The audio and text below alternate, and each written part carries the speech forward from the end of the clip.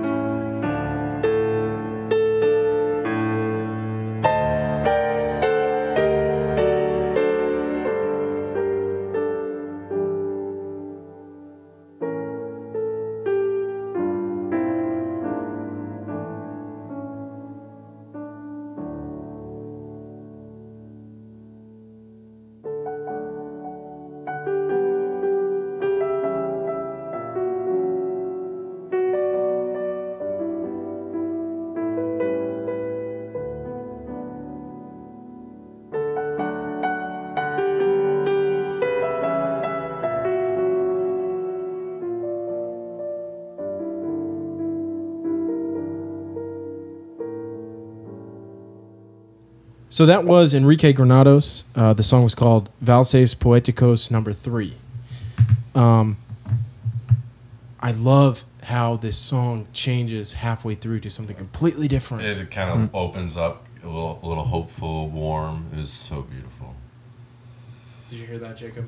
Yeah, yeah. It, um, yeah, I forget what that's called, but like um, classical pieces that have like sort of an, an A section and a B section. Um, and I, yeah, I can't remember what it's called, but that was really cool.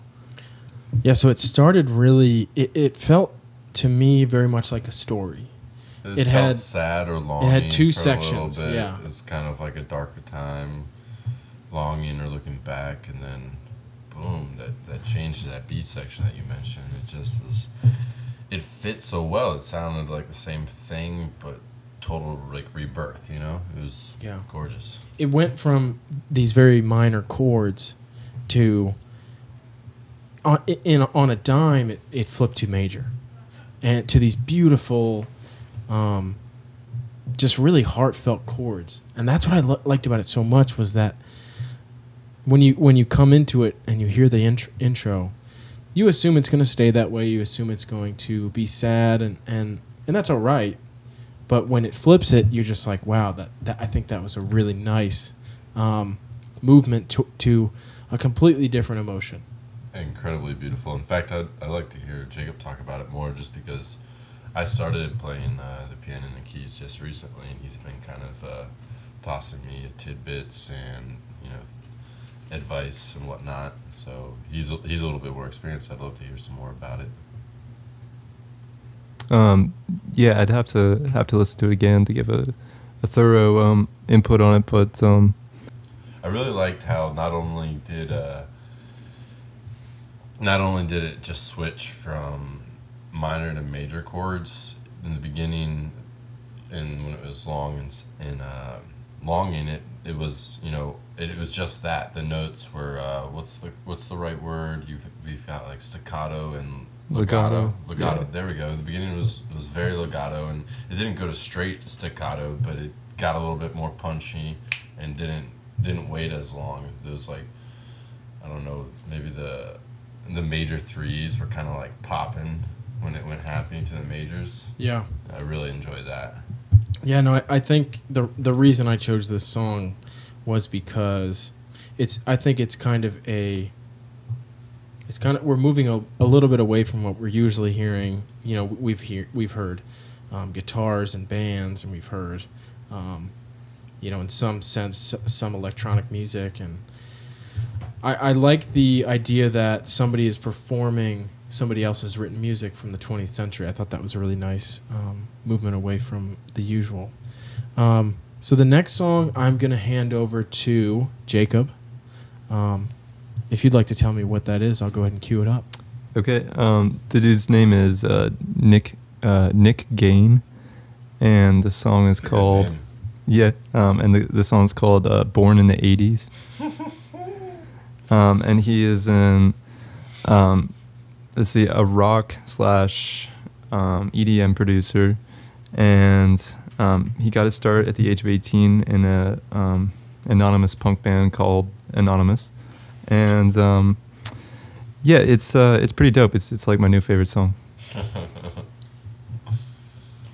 So I'm going to say something about this guy um, after we after we uh, listen to it. But the fact that you just said anonymous is going to play so well into what I'm going to play later. So let's go ahead and take a listen to Nick Gain, born in the '80s.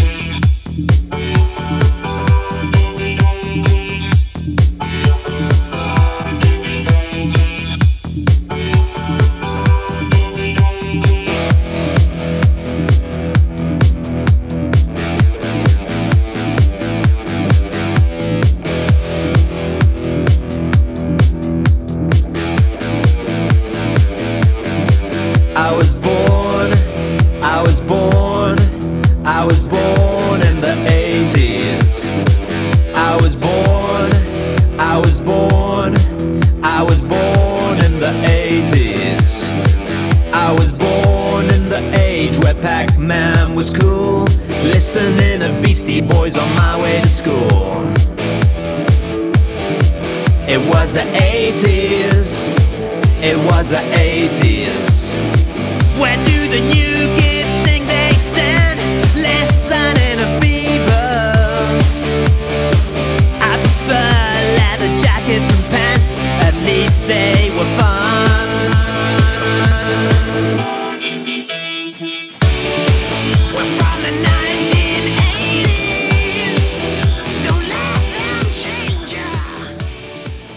So yeah, I, I don't know if that song was uh, meant to be a joke or, or not, but um, you know, I thought elements of it were, were extremely badass, and um, other elements were were uh, pretty silly. That's, but ex- um, that's exactly how I felt. Like when it first start, first minute and a half, I couldn't take it serious. But then there'd be like some really cool production. ri- exactly. And Yeah. you're like, damn it! It, but it's, it's really bad. it's it's pretty- it's pretty very bad. Yeah. So I want to bring light before we really start to dive into it.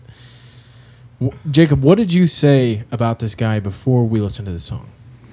Um, he is from let's see, he's from a band called Anonymous, um, which was a a punk band that I believe like won some awards, um, like some European awards. Um, uh, and let's see, I'm trying to remember what else I remember. So- So this group uh, was called Anonymous, the the group that he was in. Mhm.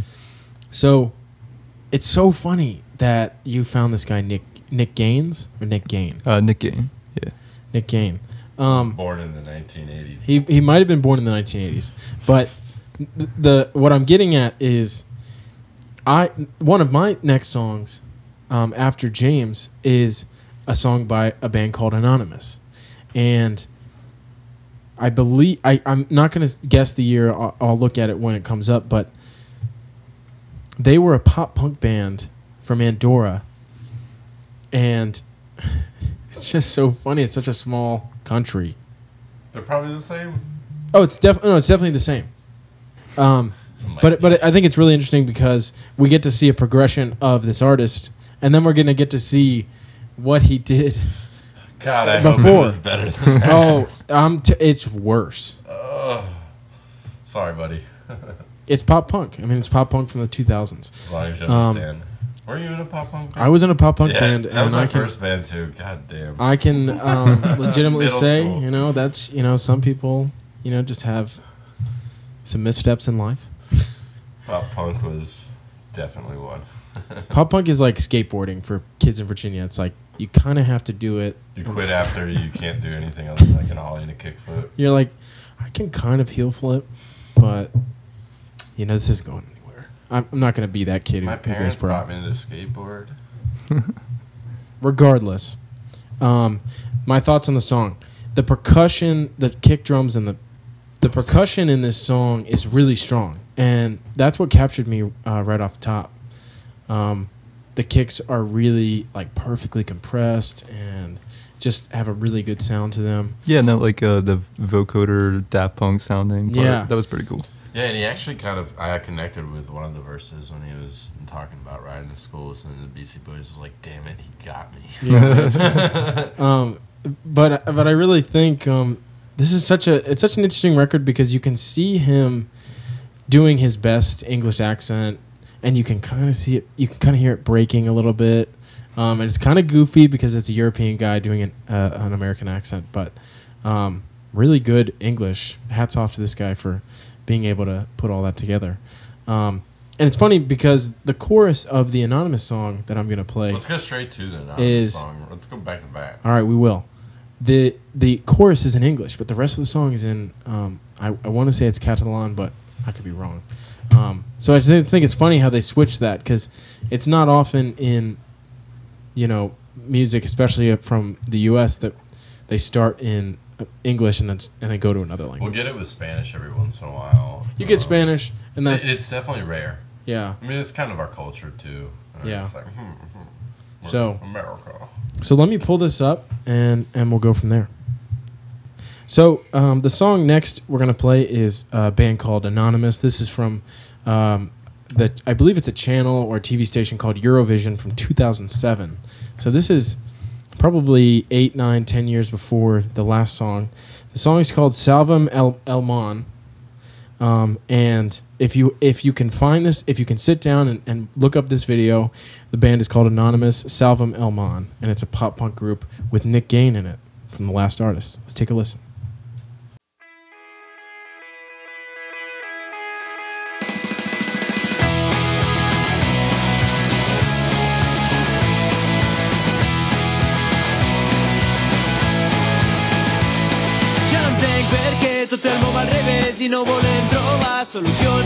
No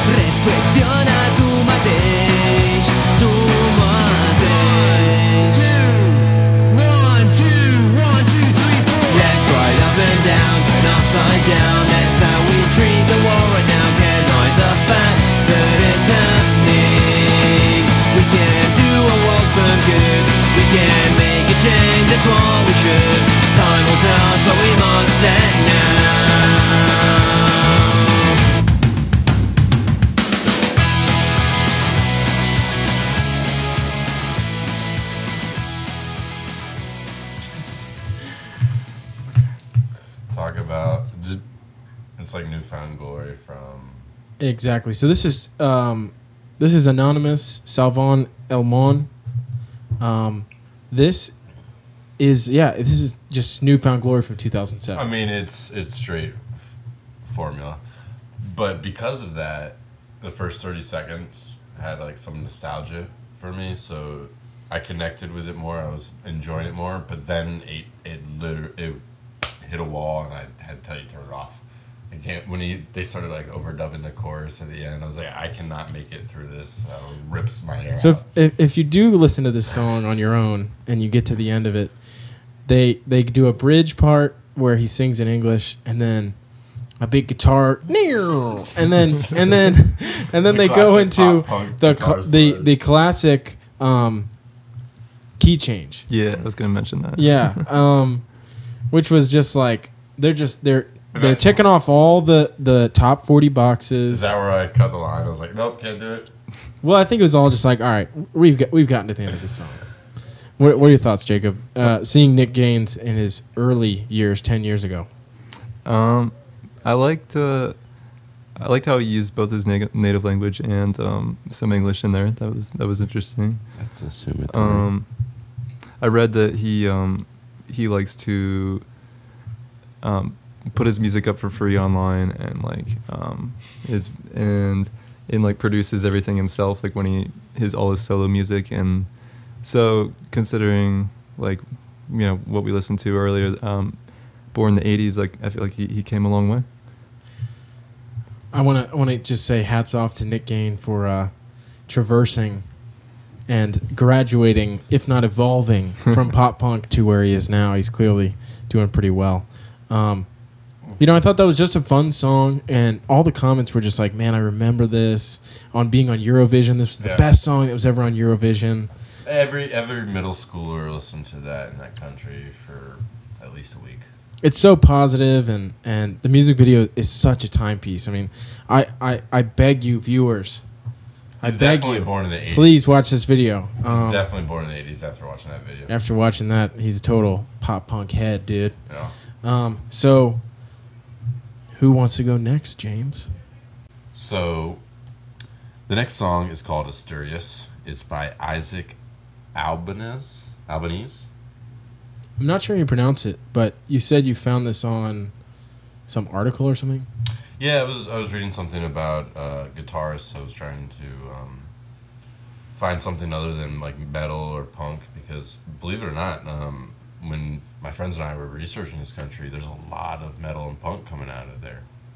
But regardless, uh, so we found something a little bit more uh, complex. It's a guitarist, and he's supposed to be masterful, full of Great. mastery. Let's give it a listen. Again, this is Isaac Albeniz. The song is called. Asturias,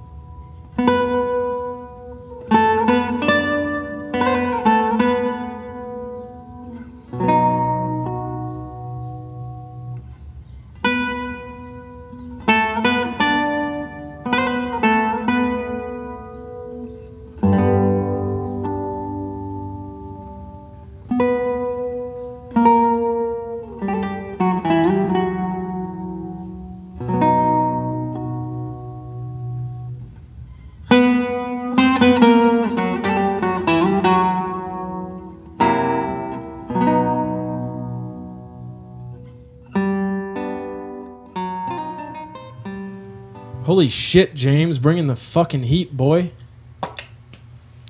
Damn. Talk about a master picker.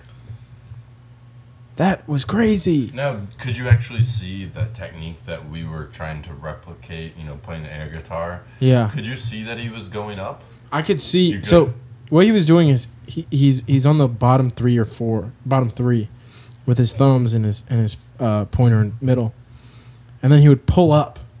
He would he would go boom.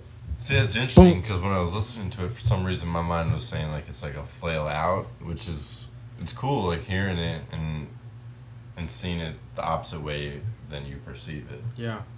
The um, I think what it what what it is is that if he goes to come back up and down, he's traveling, and that, Right. that that'll keep him off beat, or that'll kick him off beat It was because just su- such a contrasting sound. Like the, the up has that like tone. I don't know. uh, It was amazing. I mean, he, he is. If you like Andy McKee, if you like Antoine Dufour, um, if you like anyone on that record label, this is a guy that you would like. Um, if you don't know who I'm talking about, go to YouTube, type in Andy McKee. The song's called Drifting. You'll understand exactly what I'm talking about. Jacob, do you know what type of chords he was doing when he he like did that change and opened up, and it was like. dum, What Oh. type of chords were those? They were distinctly different than most of everything else he was doing.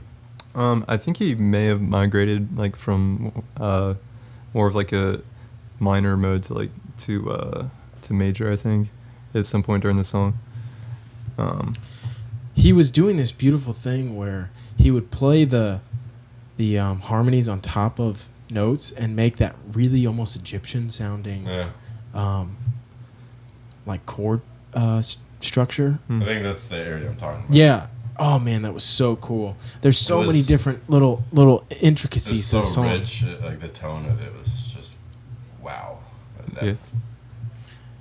I can only say good things about that song. I mean, right now, uh, I think James is in the lead with the best song. Um, so there, there's another. So we're moving forward. Nitty gritty. Nitty gritty. Uh, I have to cut this out. Um, All of it. just the whole thing. It's gonna be So like, welcome to Music World. Songs. yeah, just to go straight to the song. Welcome to music end. Um, so Jacob and I both I knew, found. I knew it was gonna go bad once we started with the reverb. Dude, that reverb's fucking dope, boy. Dope boy. Shit is fucking dope, boy. Boomtastic. Nitty gritty. With the nitty All right, let's let's rein it back in. So when I when I came and met these guys this afternoon, I asked them, you know, what kind of artists you have? Do we have any of the same ones? That's something we like to do um, in the event that we have the same overlapping one. And in this case, Jacob and I did have an overlap. Um, this is not this has happened before. It's happened in episode one, also in episode three, um, with uh, let's see. The first one was Ahmad Zahir in Afghanistan. Huge, Dr. Dre. huh? He's he's the Elvis of Afghanistan. If you don't know who that is, go ahead and uh, jump back to episode one. Yeah, charming fellow. Really, really awesome. Uh, episode three, we had Cheb Azadine, who um, Tanner and I both um, found songs for, and, and he, he had his music outlawed in in Algeria. So go ahead and check that out, episode three. But in this one, there's a metal band from Andorra that is pretty, like, extremely popular, especially in the U.S. Um, and I can only imagine even more in their own country. But the the band I believe is called Persefone. Yeah, yeah, um, yeah. They're like a progressive death metal band um, with, uh, yeah. So they recent they, not recently, but so yeah. during this year they put out a um, new album called Aathma, which I think is funny because it sounds like somebody with a lisp saying asthma. It's spelled A A T H I M hate the name. All I thought was math. I just th- like I think of Mike Tyson saying Do I have asthma. anything positive to say about this, this stuff yet? Oh man, I'm a Debbie Downer tonight. So I'm gonna play um, the second song off of their record. This is not too over over jarring, if you will, or overbearing. Um, it's only a minute and 28 seconds. The song is called "One of Many." Um, kind of instrumental. It, it comes straight off of the um, t- uh, the intro track. Um, but I thought just a really cool song. And if you, and if you want to venture forward and and listen to the third track, Prison Skin, really awesome, awesome song off their new album. But I'm gonna go ahead and and, and cue this up, and we're gonna take a listen. This is Persefone, one of many.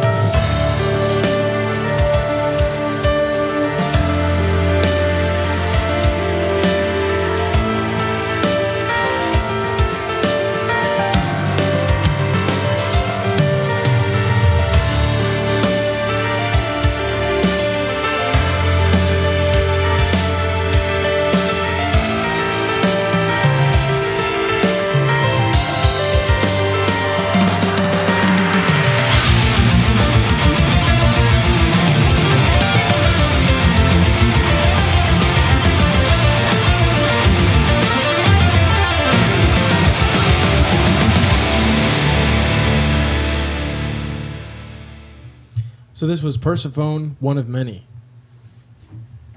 I think this song is so is so great because you get a little bit of everything. You get this technical death metal, you get a really nice piano portion, and then and then the, the grooves uh, three quarters of the way in, they they go from a halftime to like um, speeding up randomly, but it's within the same tempo, so it it really tricks your mind.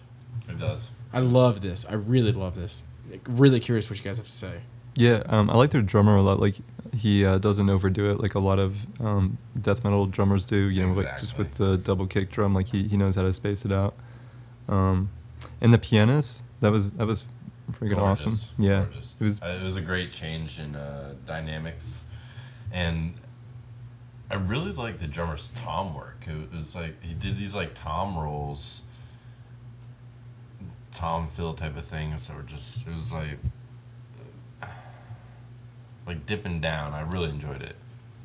Yeah, I I think everybody is not being i they're not trying to show off. They're they're they're filling They're their picking spot, the right spots. They're picking great there was, spots. There was space for us to interpret it. And and it's not just driving blast beats like you know what I mean. And And sometimes it's done well, but thank God there's no screaming. yeah, well, there is if you move on to the rest of the album, but this was an instru- instrumental por- portion, and gosh, I love this so much. I I I've, I I listened to this album. I listened to a song or two. I immediately downloaded. it. I said I need this album. I need to listen to it. Um, so I feel really good about that. So I think that's a great one to end on. Yeah, little totally. little short episode today. Um, this has been Music World, uh, episode four, Andorra. Thank you for traveling the world with us. I like that. I like I like it a lot. Thank you for traveling the world's airwaves. Uh, uh. Traveling uh the nitty gritty. Mm, I'm gonna butter your bread. Um, again, night. again, thank you guys so much for tuning in. Um, let's take a li- look at what's going to be next week. Let's Before you take a take those head, uh, take a look. Let's take a look. Let's take a leak of the look. Of the Let's thing. take a look. Let's lick the look of the leak. So, What? where are we? Where are we? Okay. Just gets better and better. All right.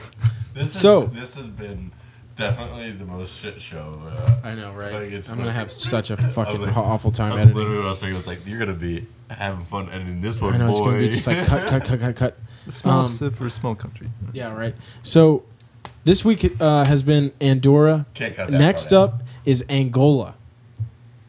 Now let's do a little research real quick before we close the episode. Where is Angola? Because I'll be honest, I have no idea. Let's guess. Which continent? I just I just looked, so you can guess. Go ahead. No, no, no. I want to hear your guess. If you had to guess, Africa. My favorite country. But guess something else. your favorite continent? Oh, I missed the. My favorite country. Where do you think Angola is? Oh, um, You can double up on Africa if you want.